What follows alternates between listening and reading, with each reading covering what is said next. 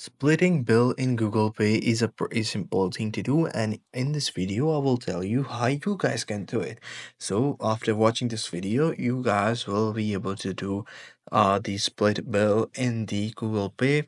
As you guys can see that there are four people that have splitted bill among each other by uh, you can either select a uh, specific percentage for a specific amount for a certain pe- person and or you can simply equally divide it in the um, uh, total number of people.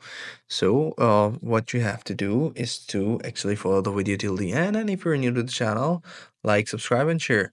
So what you have to do is to go open up the google app play app uh, then uh, tap on the app and login if needed Go to the split and expense, look for the option under the pay or new payment, add a participant, select contact to split the bill with entered amount, input the total uh, bill amount, customize, uh, share, adjust individual contribution if needed, send request, confirm, and uh, send the split request. And that is pretty much it.